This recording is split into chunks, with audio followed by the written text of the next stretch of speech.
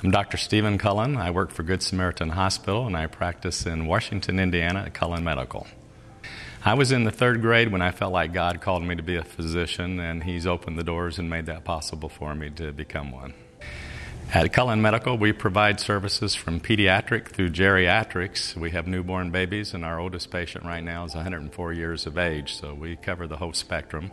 We do sports medicine. We do a lot of uh, minor surgeries in the office type procedures. So we do a wide variety of, of uh, topics in medicine. I think what I like most about medicine is just being able to help people. I think that uh, when we serve people, we're serving God.